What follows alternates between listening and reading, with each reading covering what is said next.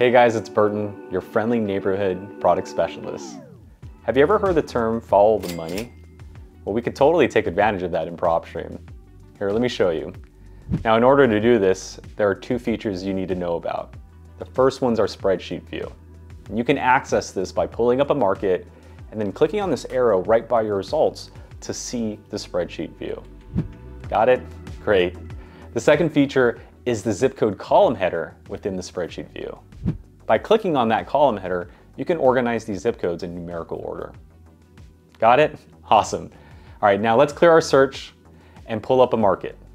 Once we pull up that market, we're gonna go ahead and go into our search filter and select cash buyers.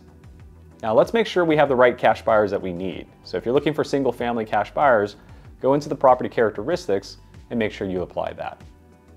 Now another tip is let's make sure we find recent buyers. Let's go back about 12 months for that. All right, now that we have our results, we're gonna go ahead and click on the spreadsheet view, and then we're gonna click on the zip code column header to organize the zip codes.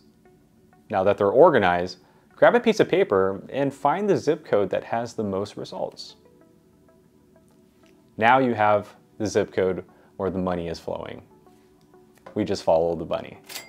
Now what you can do is you can search that zip code, clear your search filter, and start identifying distressed homeowners like tax delinquencies, failed listings, pre-foreclosures, bankruptcies.